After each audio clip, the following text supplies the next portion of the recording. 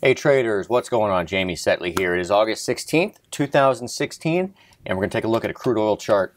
Uh, big move the last four days, up uh, over 11% actually the last four days. In fact, if I were to show you a rate of change chart, four-day rate of change, moves like this uh, have happened I think five or six times over the last two years, and before that, uh, you've got to go way, way, way back. So, um, you know, we're at a level consistent uh, with what I would call kind of an important decision point, um, just a trend line, okay, off the highs from June, uh, you know, June 9th, June, June 24th, and we're trading right around that. You've also got uh, horizontal levels, okay, from uh, July, uh, mid-July.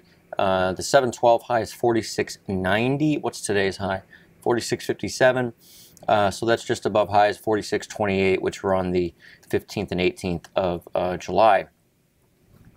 Um, you can look past, uh, I guess, that level as well, and you can see highs back on May 12th and uh, May 19th. So you do have, you know, a lot to get through here. Again, up 11% in four days. Uh, you know, extraordinary momentum here in the short term.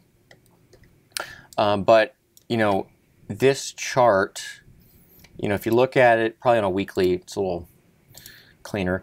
Uh, you can see that you've got what looks to be like a big head and shoulders pattern. Okay, so this could end up kind of, you know, giving you the next major move to the upside in crude oil. This is a weekly chart, and I'm talking very big picture here. Um, but near term, you know, I would pay attention to uh, really right now. Uh, and if you start to get some consolidation or pullback over the next uh, several days uh, to weeks, I'd pay attention to 43 bucks. Okay, um, essentially 43 could be kind of viewed as you know where this acceleration started from. Okay, you had uh, the May 10th low there. You can see we broke below, went higher. $43 was resistance for several days okay, until uh, last uh, last week. I guess that was Thursday the 11th. That's when you had the outside day breakout. Okay, so call it the scene of the crime, if you will. If you start to get consolidation slash uh, you know weakness, um, you know towards towards the end of the month, perhaps uh, you might see 43 come into play as a big support region. Okay, um, so that's really what I'm watching for with crude. Again, this is all part of a much bigger setup that you know could launch a substantial advance in crude oil. Uh, just to give you an idea, you know, so let's call it 51.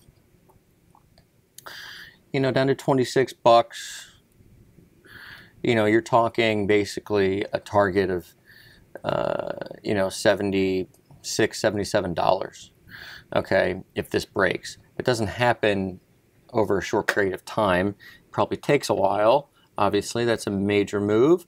Um, but, you know, that's the implication from this big inverse head and shoulders pattern, which has not been completed yet, okay? It's just a possibility at this point, but it's one worth, uh, you know, I think having in your mind, um, you know, so if, if you do start to see crude consolidate uh, make an area pattern of sorts, you can look for it to resolve potentially to the upside as part of you know an eventual breakout higher in crude oil. So that's it uh, for now. Again, if you apply this to FX, to currencies, think of some of the uh, you know crude um, you know exporting countries, uh, you know petro currencies, Canada.